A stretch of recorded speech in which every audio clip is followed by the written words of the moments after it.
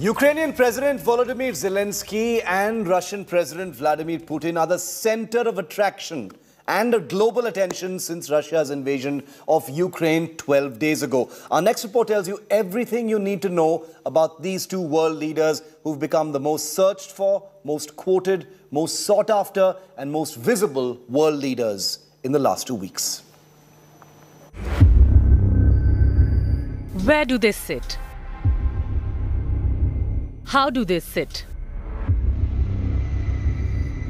How do they communicate? One is evidently a people's person. The other, should we say, keeps distance.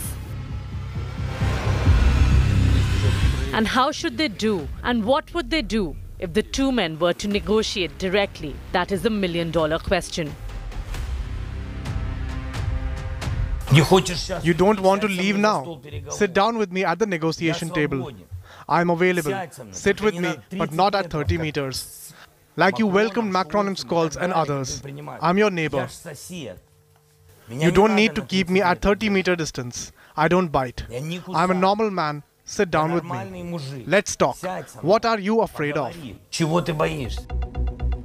These images have drawn ridicule and raised eyebrows. Not because Putin does this with everyone, but only a few. Here, the president of Kazakhstan, an ally. pilots. And here with crew members of the Russian airlines.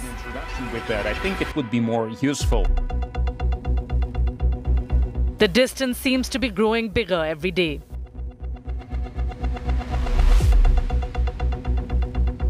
Jokes apart, the need, as the world is urging, is to now sit down on the negotiating table and talk. Bureau Report, India Today.